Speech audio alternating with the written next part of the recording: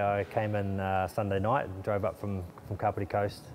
Was, uh, down camping in the, in the South Island in, a tent, got the call and kind of rushed to pack up and got up here and uh, first full day of training yesterday. So it's hard and fast, but exciting at the same time.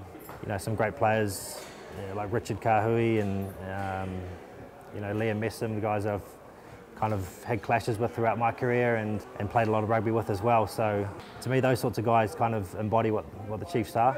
Um, you know, left their mark on, on this jersey and, and for me to get an opportunity to put on a jersey that um, some of those guys have, have worn would be pretty special. I'm really excited to work under Gats. Um, you know, also really excited to to be in a team like the Chiefs. It's um, a team I've always looked up to. You know, especially you know playing against them, um, the flair that they, they bring and the excitement. They just look like they're having a lot of fun out there, which is you know, always a team you want to be involved with. So, um, you know, if I get an opportunity to play for the team, it, um, it'll be immense.